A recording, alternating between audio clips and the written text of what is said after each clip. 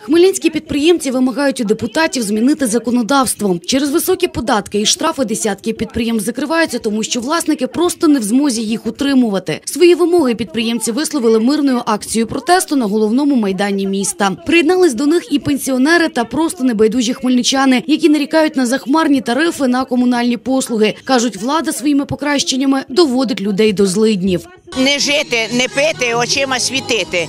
Нам, е, нам просто немає далі як жити. Люди вже в отчаянні. Подивіться на цих людей. В основному е, пожилі, старі люди, які прийшли з криком душі на оцей майдан. скасувати страшенні е, постанови і закони України про нелюдські вже драконівські штрафи, саме перше, написати новий податковий кодекс із нормальними умовами для підприємців. Підприємці, які, незважаючи на постійний тиск з боку держави, зуміли створити хоч маленький, але власний бізнес, переконані. В умовах непрацюючих заводів єдиний вихід держави – це всіляка підтримка малого та середнього бізнесу. Між тим, на сьогоднішній день малий бізнес не тільки не відчуває допомоги держави, а навпаки підлягає відвертому нищенню. Постійний утиск, захмарні штрафи поставили малий та середній бізнес під загрозу повного знищення.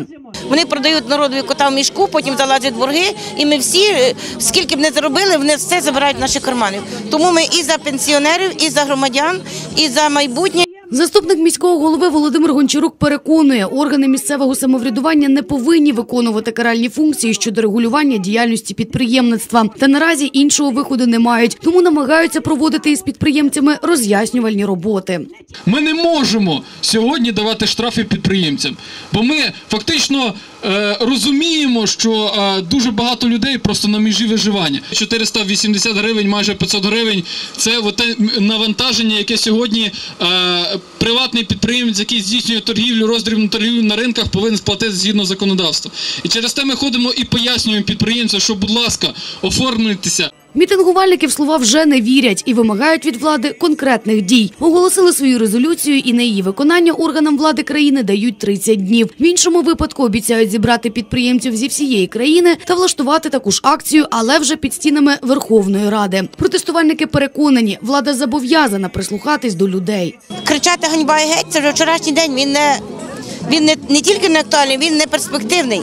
А треба заставити її зробити те, чого люди хочуть, якщо вони наші слуги. А якщо не хочуть, вони дуже скоро не будуть слугами нашого народу.